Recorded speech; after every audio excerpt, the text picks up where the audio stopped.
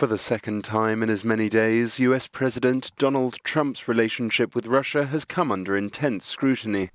This time, over allegations that the leader told sacked FBI Director James Comey to drop an investigation into links between Russia and his former aide Michael Flynn.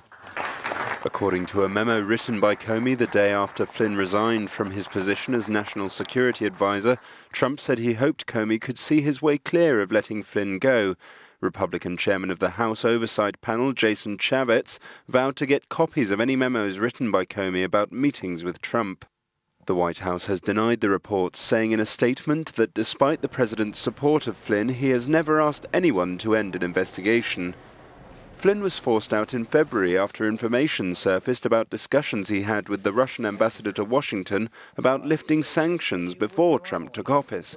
He then misled Vice President Mike Pence about the conversation. Mildly nauseous to think that we might have had some impact on the election.